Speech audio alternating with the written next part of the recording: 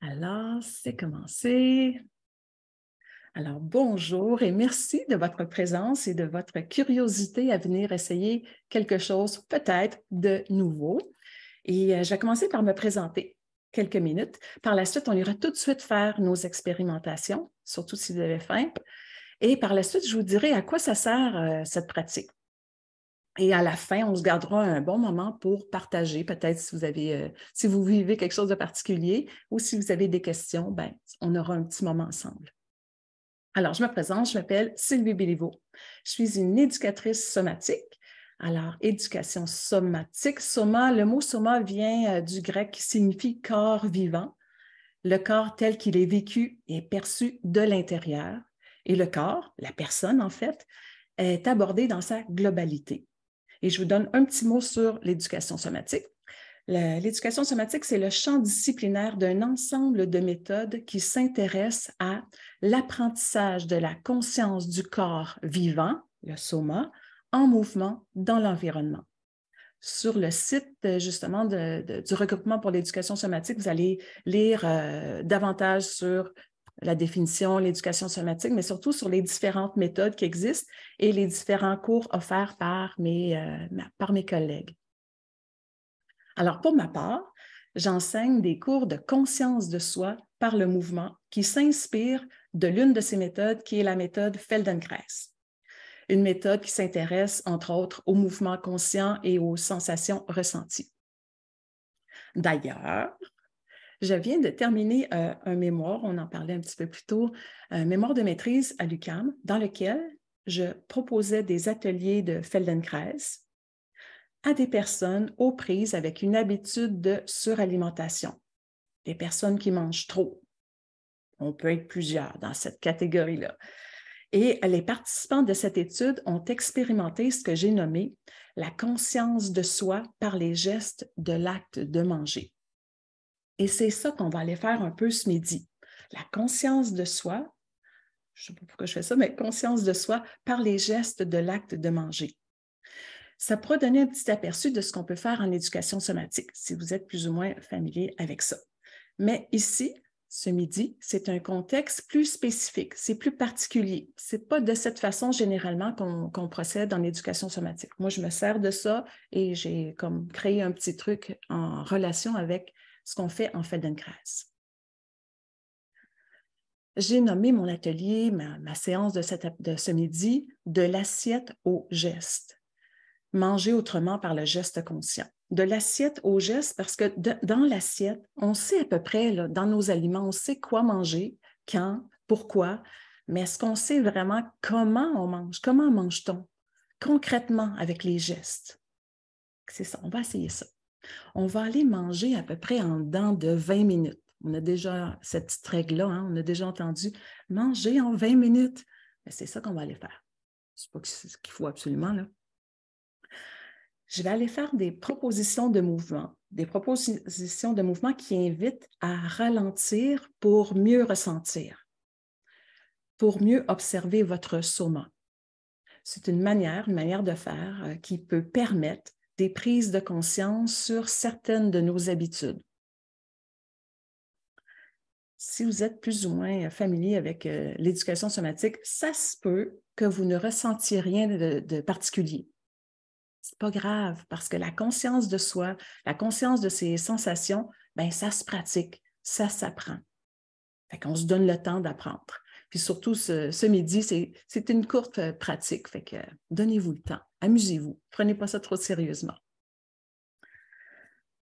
On aurait pu prendre la voie d'observer nos aliments dans l'assiette, un peu comme on fait en manger en pleine conscience, c'est-à-dire observer la couleur, la saveur ou l'odeur des aliments.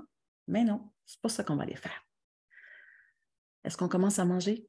Mhm. Allez chercher votre repas, asseyez-vous confortablement, les pieds à plat au sol. Peut-être que votre position euh, idéale, c'est jambes euh, croisées, euh, assis en tailleur. Ça marche aussi. Donc, tout ce qu'on fait, c'est on s'assoit confortablement, pieds au sol ou jambes croisées, et on commence à manger, tout simplement. Si vous n'avez pas de, de, repas comme tel, on peut juste faire assemblant. Ça, Michel, c'est bon. on peut juste faire euh, assemblant ou même le faire dans l'imaginaire. Ce faisant, sans chercher à corriger, sans chercher à modifier quoi que ce soit, observez votre assise. Quelle portion du bassin touche la chaise ou le dossier de la chaise? Quelle est la forme de votre colonne vertébrale en ce moment? Changer quoi que ce soit.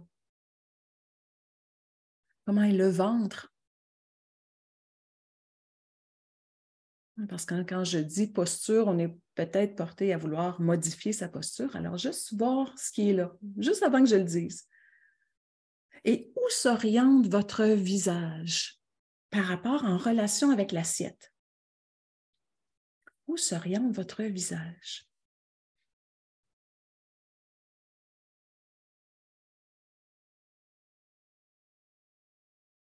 Ça fait peut-être beaucoup de questions, mais on peut faire ça plus, euh, plus global. Et puis oui, on va déposer notre plat. C'est là que tantôt on parlait un petit peu plus tôt.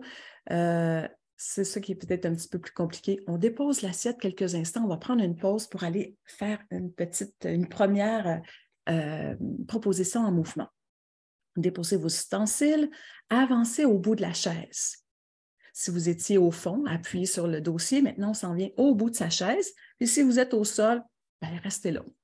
On peut placer nos mains sur les cuisses. Et on va venir rouler à l'arrière des ischions. On va rouler son bassin à l'arrière, pas trop loin, pas trop fort, et à l'avant des ischions.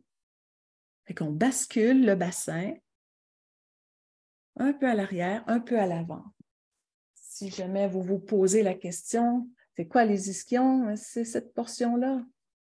Ou encore, je ne sais pas si on va voir comme il faut cette portion ici. En fait, c'est l'aspect plus osseux dans la fesse, c'est le, bassin, la partie qu'on peut. Et tout ce qu'on va faire, c'est qu'on roule doucement, sans aller trop loin ni à l'avant ni à l'arrière, et observer la colonne vertébrale,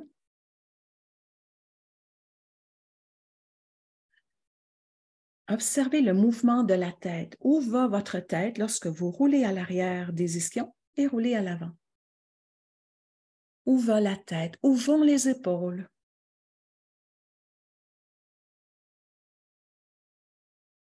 Oui, je le fais avec vous.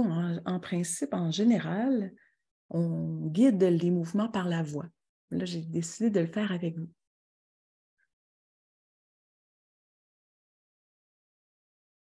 Et puis, retrouvez une position euh, confortable, ni trop en avant, ni trop en arrière, quelque chose dans lequel vous êtes confortable.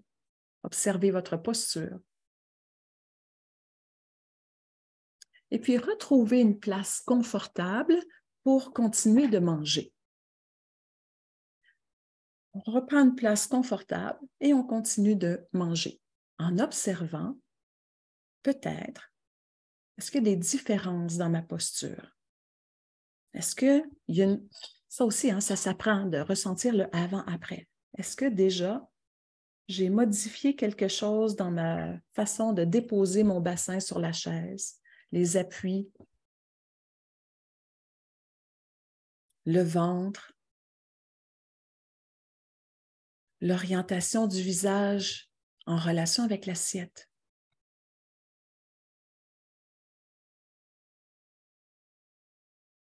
J'ai quelque chose un petit peu plus, je sais pas, de différent par rapport à tantôt? Ça se peut que oui, ça se peut que non. Puis pourquoi on ferait ça? À quoi ça sert de, venir visiter notre posture et notre assise? Ben, c'est une façon de, de ralentir. Si vous avez l'habitude de manger rapidement, peut-être que de venir quelques instants dans sa posture peut nous aider à retrouver euh, une façon plus plus agréable de manger moins, moins rapidement. Peut-être aussi en ayant une posture plus longue, sans nécessairement dire droite, ça peut peut-être favoriser la digestion, son état, son état émotif, par exemple. Ça peut peut-être même modifier sa respiration.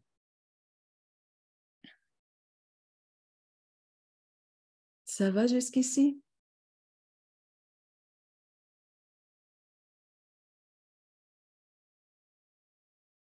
J'ai trois, quatre euh, propositions, donc euh, on ne fera pas ça pendant vous arrêtez de manger à, tout moment. Est-ce qu'on se prend une autre pause? Déposons encore notre assiette, notre petite collation ou euh, notre mouvement imaginé. Et puis, tout simplement, on va prendre une pause, on va fermer les yeux. Peut-être que ça va nous aider à, mieux prendre conscience. Alors, fermons les yeux et remarquez, ou en fait, que remarquez-vous de vos lèvres? Texture de vos lèvres en ce moment. Texture de vos lèvres et même peut-être l'intérieur de la bouche.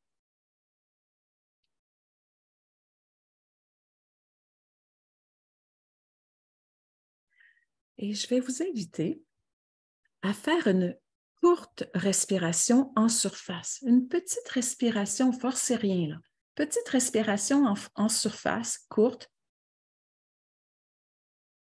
un peu plus courte que ce que vous êtes, euh, vous êtes habitué de faire, puis observez ce que ça fait au niveau de la texture des lèvres, par exemple.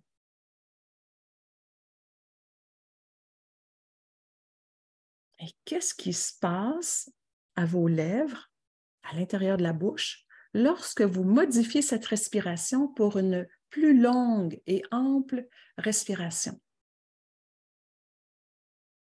Alors, qu'est-ce qui se passe lorsque ma respiration est maintenant plus longue et plus ample, sans forcer, là?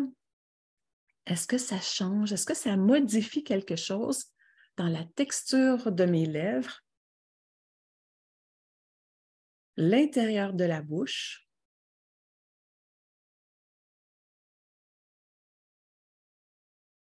Puis on pourrait le refaire si ça vous plaît une fois ou deux, une petite respiration courte et en surface, juste pour voir ce que ça donne comme sensation dans les lèvres.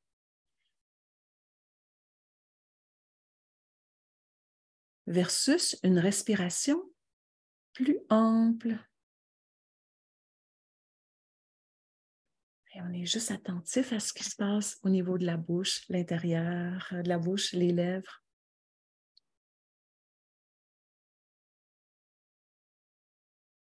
Et puis, vous pouvez recommencer euh, à manger. Vous pouviez commencer avant, là, mais continuez de manger si ça vous plaît. Euh, certaines personnes ont peut-être remarqué qu'en ayant une respiration, quand on ouvre, on inspire d'une façon plus euh, ample, ça, crée une façon de ressentir les lèvres plus tendres, plus souples, peut-être disposées à mieux apprécier les aliments.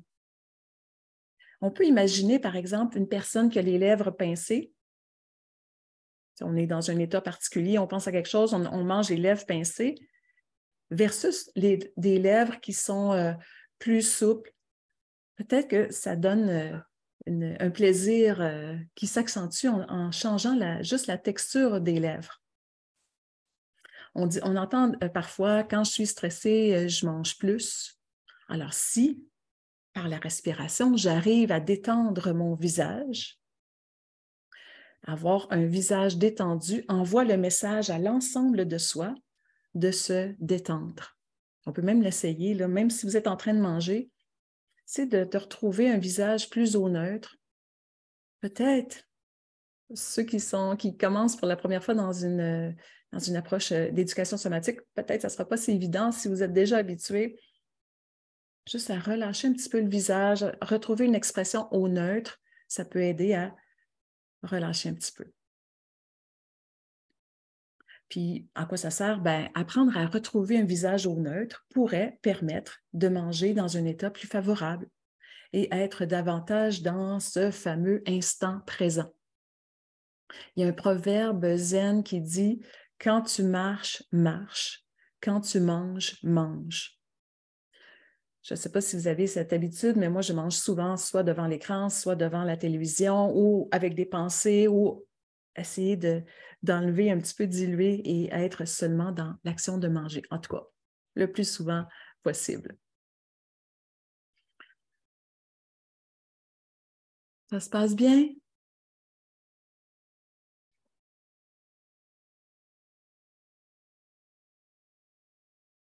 Qu'on continue? Une autre fois, on va aller déposer notre assiette. On va aller jouer avec quelque chose un peu différent.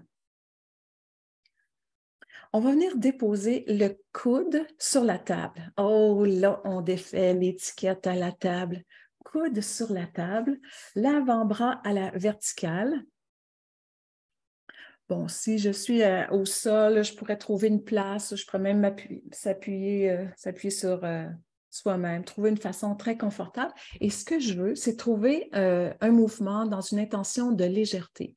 Et tout ce qu'on va faire, c'est qu'on va amener la, de main à, euh, la paume de main s'orienter vers la table ou vers le sol et vers le plafond.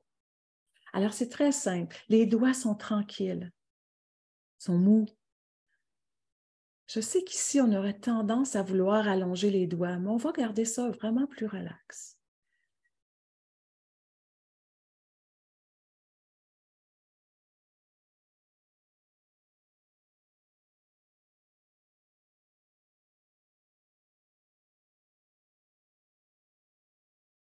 Doigt très relax.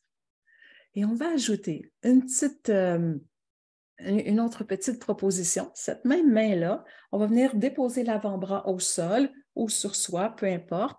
Et moi, vu que vous ne voyez pas ma table, on va dire que ça, c'est ma table. Et il y a du sel très fin sur cette table, ou euh, peu importe. Et on va venir avec les doigts chercher du sel, sel très fin, très doux. Et on va faire un petit mouvement là, de, légèreté et même peut-être sensuelle.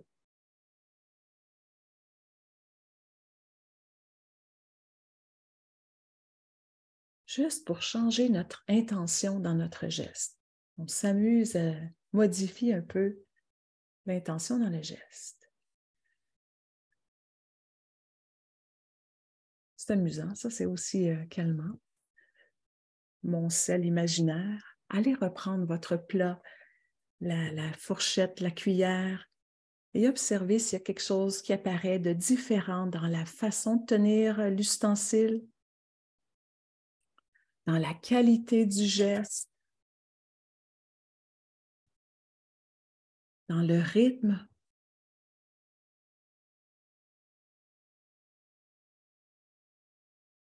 Est-ce que j'ai gardé cette même intention d'amener euh, Parfois, euh, dans ce petit exercice, on, peut remarquer que la fourchette, finalement, est beaucoup plus pesante que tantôt, ou il y a quelque chose de différent qui apparaît, ou pas.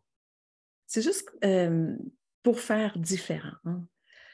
Par exemple, si j'ai tendance à manger dans un mouvement plus brusque, peut-être ça donne un indice sur euh, notre habitude de manger rapidement, par exemple.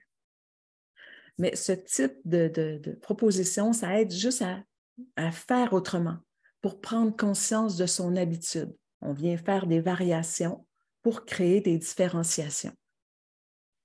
Et euh, une citation de Feldenkrais que je vais peut-être un peu maganer, là. Euh, on ne peut faire ce que l'on veut si l'on ne sait pas ce que l'on fait. Je ne peux pas faire ce que je veux si je ne sais pas ce que je fais. Pour ça, il faut que j'en prenne conscience. une fois que j'en ai pris conscience, ben là, je suis en mesure peut-être de changer quelque chose. Vous me direz si vous avez senti quelque chose de particulier dans le geste, dans la fourchette. Alors, pour l'instant, ce qu'on a fait, c'est qu'on est allé voir notre assise, on est allé voir la texture des lèvres, peut-être aussi au niveau de la respiration.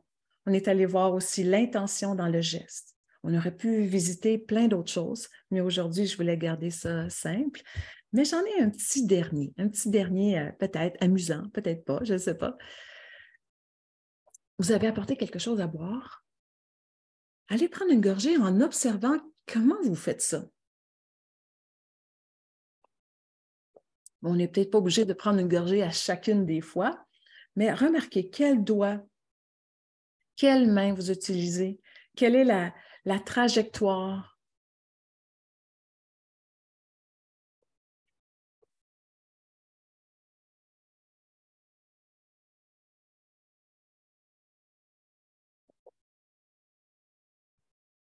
Et pour le plaisir, on va s'amuser à changer une trajectoire. C'est vous qui décidez.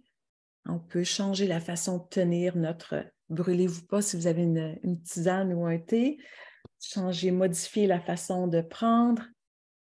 Soyez créatif, une petite minute. Mais je sais que vous êtes des gens créatifs. Si vous êtes ici, il y a des fortes chances. Vous voulez essayer quelque chose de nouveau.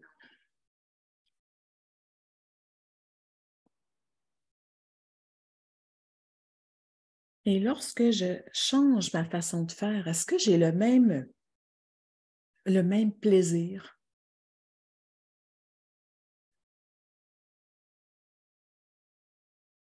Est-ce que ça goûte la même chose? Ça, ça serait intéressant à, observer.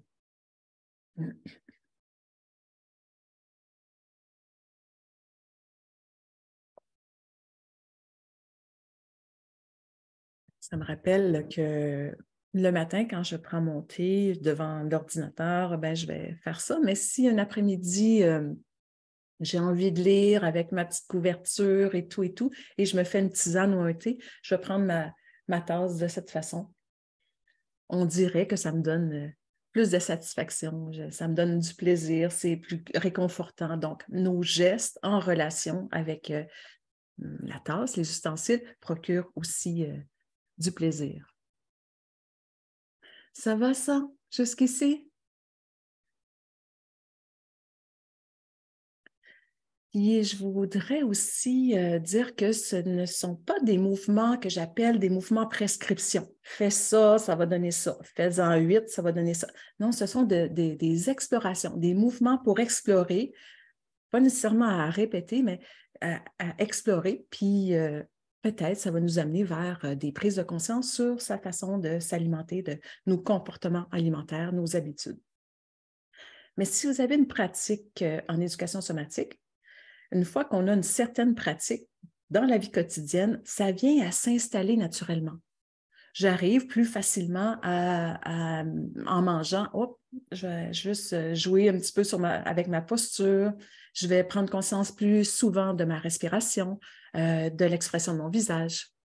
Fait qu'une pratique, ça, vient à s'intégrer. Voilà, vous pouvez continuer de manger. Moi, je vais enchaîner avec euh, la partie dans laquelle je, viens vous raconter, vous dire à quoi ça peut servir une pratique comme ça en éducation somatique, comme on le fait cet après-midi, ce midi ou ce soir pour certaines personnes. Alors, l'idée, c'est d'être plus conscient en mangeant, plus conscient de soi en mangeant et réaliser que nous mangeons avec l'ensemble de soi. La pratique mène à intégrer cet état de présence à soi, comme je disais un petit peu plus tôt, à retrouver son neutre plus spontanément, sans nécessairement devoir faire euh, des propositions. Parce qu'il y en a qui me disent Ah, mais je mange, mais il faut que je m'arrête pour faire telle, telle chose. Oui, on peut avoir une pratique, euh, un repas dans la semaine, et puis euh, ça vient à s'intégrer. Ça peut être bon aussi si vous avez envie ou si vous avez besoin de modifier certaines habitudes alimentaires.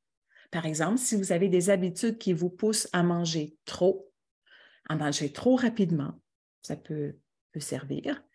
Euh, vous aimeriez retrouver la sensation de faim. J'entends ça souvent. Je ne sais pas quand est-ce que j'ai faim, je ne sens plus la sensation de faim. Et encore mieux, reconnaître la sensation de satiété. Si on est dérangé par toutes sortes de choses, euh, ça se peut qu'on ne soit pas à l'écoute et ne pas ressentir la sensation de satiété qui est la sensation de ne plus avoir faim. Ou tout simplement, vous voulez être plus présent, plus conscient lors des repas si vous mangez devant la télévision, on, s'aperçoit, on a déjà fini de manger, on était tellement hypnotisé par le téléviseur ou l'ordinateur qu'on n'a pas pris conscience de, ce qu'on était en train de manger. Ça peut aussi aider lors des choix, lors du choix des aliments. Qu'est-ce que je veux manger? Ça peut même servir à l'achat des aliments. Lorsqu'on est plus présent à soi de ces sensations, euh, le choix déjà à l'épicerie. Est-ce que j'ai envie de me sentir comme ça? Si j'achète ça, je vais me sentir de telle, telle façon. ça peut être une autre façon de développer euh, cette expertise de soi pour choisir ces bons aliments. Ça peut servir à être euh, plus autonome, c'est-à-dire plus libre dans ses comportements. Je ne sais pas si, comme moi, vous avez essayé plusieurs régimes plusieurs façons de faire et on développe euh, cette espèce de police intérieure, mange pas ça, fais pas ci, fais pas ça. On a plein de petites règles, surtout si vous avez déjà fait plusieurs euh, types de régimes. Alors, on essaie comme de, diluer ça, de retrouver sa propre autorité au niveau de, l'alimentation. Ça sert aussi à euh, plus de conscience de soi, oui, connaissance de soi et confiance en soi aussi. Connaissance de soi. Pourquoi je mange ça? Ah, je suis stressée. Ah, ben oui, il y a des liens à faire, évidemment. Et euh, confiance en soi. si vous avez eu des troubles, euh, hmm, même, même trop manger. Ah, si je mange ça, je vais trop manger. Reprendre sa confiance en soi, ça peut servir à ça aussi. Prendre euh, conscience de certaines structures. Une qui est facile, il est midi, il faut que je mange, c'est l'heure de dîner, même si je n'ai pas faim. Des fois, on n'a pas faim, mais comme c'est l'heure de manger, on mange. Donc, il y aurait peut-être des ajustements. Puis, il y a des structures familiales, des, petits trucs aussi qu'on pourrait euh, euh, trouver là, apparaître. Euh, une chose que je dis souvent aussi, bien souvent, je dis qu'on mange nos souvenirs. Par exemple, la semaine dernière, j'ai acheté du sirop d'érable euh, ça devait faire à peu près dix ans que je n'avais pas acheté de sirop d'érable. Et en bonne québécoise que je suis, alors j'ai versé mon sirop d'érable parce qu'on veut goûter, voir si c'est une bonne marque. Hein. Je, prends la, cuillère de, de sirop d'érable et ça fait tout les souvenirs sont montés, euh, les crêpes que ma mère faisait, euh, le, sirop, le, pain, doré. Et euh, je me suis vue dans ma cuisine quand j'étais petite, dans la cuisine de mon enfance. Fait ça, c'est vraiment intéressant, c'est de revoir ces souvenirs reliés à l'alimentation. Des fois, on mange nos souvenirs et vice-versa. manger avec plus de plaisir, ça sert aussi à ça plus de satisfaction plus de satisfaction, pas seulement qu'avec les aliments. Alors, rendre l'expérience des repas plus nourrissante, plus euh, globalement. Parce que si je dis, si je vous dis, pensez à plaisir de manger, plaisir de manger, peut-être que vous allez voir oh, un plat de pâtes, des sauces, euh, du fromage, du pain, des desserts, du chocolat ou du vin. Hein, c'est souvent relié à, à ce qu'il y a dans notre assiette. Mais évidemment, le goût des aliments, la vue des aliments, l'odeur, la texture apportent du plaisir. Le lieu où on mange aussi peut apporter évidemment du plaisir. La compagnie, les gens avec qui on mange, on peut préférer manger seul, mais on peut préférer manger avec d'autres. Mais aussi, qu'est-ce qui peut apporter euh, du, plaisir, un peu plus de plaisir global? Les ustensiles. Oui, on va voir, je vais vous montrer un petit truc tantôt pour vous faire sourire. Euh, la vaisselle, la chaise sur laquelle on, mange, ou le, peu importe, les vêtements. Les vêtements, si ma ceinture est trop serrée, ça peut enlever un peu de plaisir ou on est avec des vêtements qu'on ne veut pas salir, on est juste avant une présentation, par exemple, ça enlève un peu du plaisir global de manger. Mais évidemment, la posture, penser à manger dans cette posture, ce n'est pas aussi, euh, ça dit moins oui à, l'action de manger. La posture, les mouvements, les sensations influencent également le plaisir. C'est comme si on a en même temps, on est dans, dans la relation à ce qui se passe à l'extérieur, notre environnement, dans ce qu'on disait tantôt, environnement en relation avec son vécu intérieur. il y a tout un monde de, sensations, de vécu intérieur qu'on met en relation avec euh, ce qu'on mange, dans quelle, dans quelle atmosphère et l'environnement. Je vous fais un petit partage d'écran pour vous faire euh, sourire.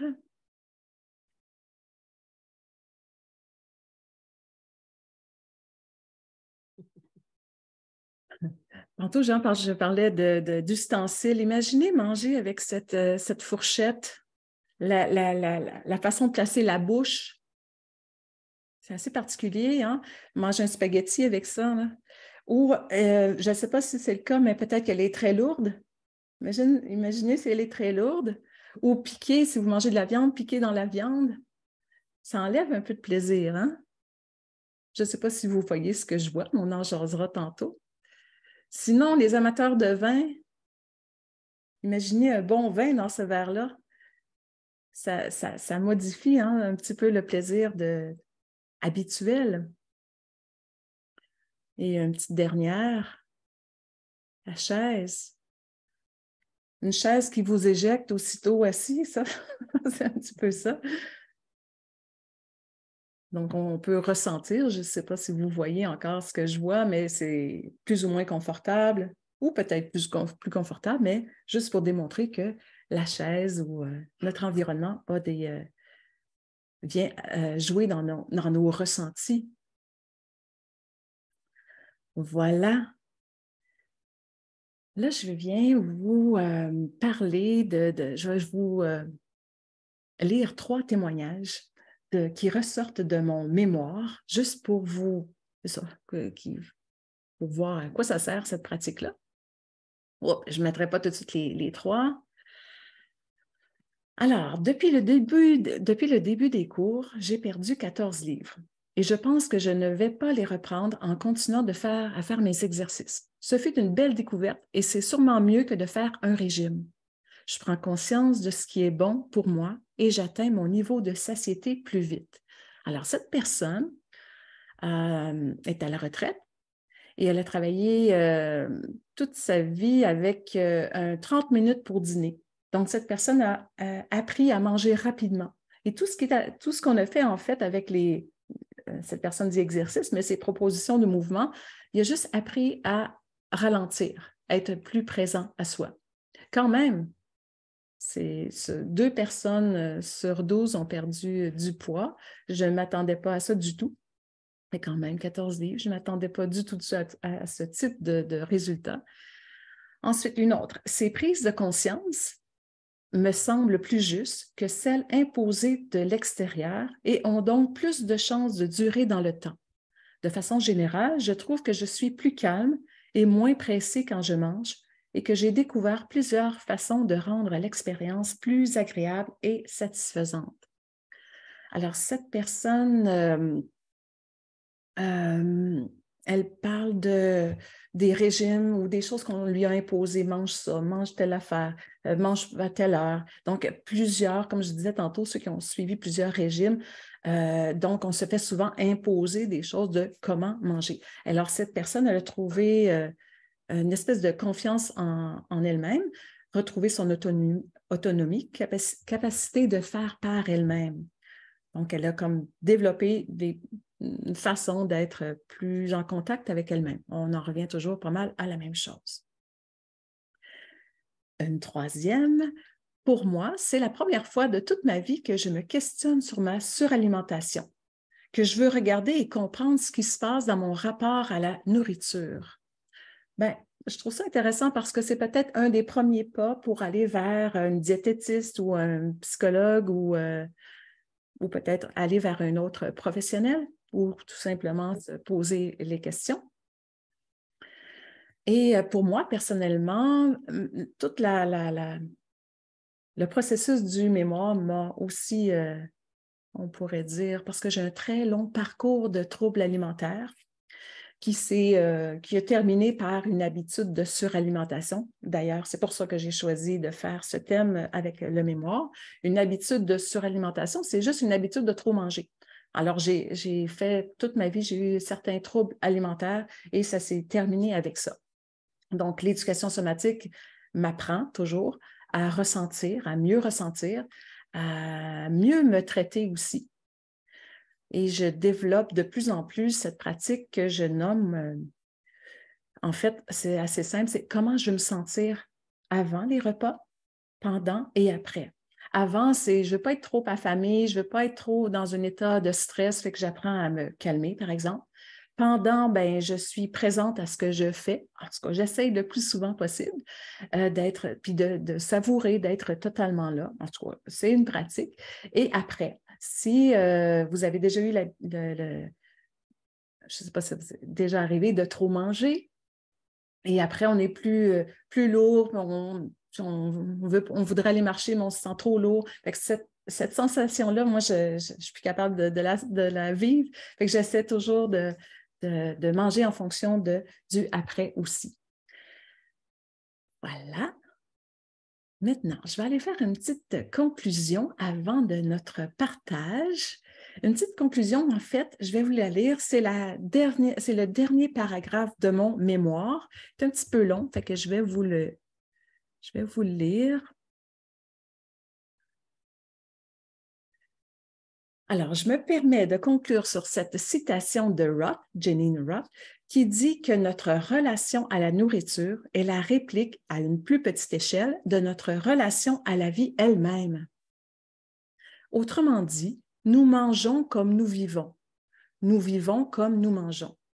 Puisque l'un est le reflet de l'autre, je pense qu'il devient capital de prendre conscience de notre relation à l'alimentation via nos mouvements, nos sensations, nos émotions et notre pensée. Dans une certaine mesure, l'action de manger est évidemment essentielle. Mais malgré sa banalité et sa récurrence quotidienne, parce qu'on mange trois fois par jour, cette action offre de multiples occasions d'activer la conscience de soi. La pratique de la conscience de soi dans l'acte de manger peut certainement contribuer à créer plus de sens dans nos comportements de tous les jours, à être plus en cohérence avec nos aspirations profondes et enfin à améliorer notre vie elle-même. On prend jaser tantôt de ça. Là, je vous donne mon site Internet ici. Euh, pour voir ce que je fais ou si vous avez des questions euh, à me poser, si vous voulez lire le résumé ou mon mémoire, euh, c'est quand même. Et cet atelier, je donne un atelier d'une journée sur ce qu'on vient de faire, mais avec un peu plus, plus vaste. Mais je veux préciser que lors de ce type d'atelier, j'invite les participants à venir au sol pour faire de l'éducation somatique. Mais c'est comme ça qu'on apprend. Au sol, sur notre tapis, et je propose des mouvements. Et de là, ben, ça, permet d'apprendre la conscience de soi, euh, comment à, mieux ressentir, apprendre à ressentir, à comment prendre conscience. Et ensuite, je fais des petites expérimentations plus spécifiques, un peu comme ce qu'on a fait ce midi. Alors, on peut dire que ici, l'éducation somatique est appliquée dans un contexte de santé, de mieux-être, je pourrais dire ça. Mais je préfère de plus en plus dire euh, c'est dans un contexte de, de retrouver le plaisir, retrouver le plaisir de manger. L'éducation s'applique, euh, l'éducation somatique s'applique dans d'autres sphères aussi. Je vous donne, je vous partage, oui, j'en profite, euh, mais c'est pour aussi dire, euh, je donne des cours de, conscience de soi au musée des, des Beaux-Arts de Mont-Saint-Hilaire, se mouvoir consciemment pour percevoir autrement. C'est juste aussi pour vous montrer qu'on peut appliquer l'éducation somatique dans différentes sphères. Ici, les gens viennent faire du mouvement, euh, somatique. Par la suite, on vient voir les œuvres d'art et on apprend à percevoir autrement. Ensuite, euh, je vous donne le site Internet du regroupement pour l'éducation somatique. Et là, vous allez voir, les praticiens, les éducateurs somatiques offrent des cours, euh, généralement des cours en groupe, des cours en individuel, des ateliers sous différentes formes, euh, des, ateliers de différents thèmes. Et les praticiens, les, éducateurs somatiques peuvent aussi avoir des spécialités. Et euh, sur le site du regroupement, euh, vous allez retrouver tout ça. les portes ouvertes sont jusqu'à samedi. Et venez voir ce que mes collègues ont préparé pour vous. C'est sûrement très intéressant aussi. Alors voilà, on va passer à la à la portion partage et questions, mais je vais quand même, euh, euh, arrêter l'enregistrement pour qu'on se sente un peu plus libre. Et voilà.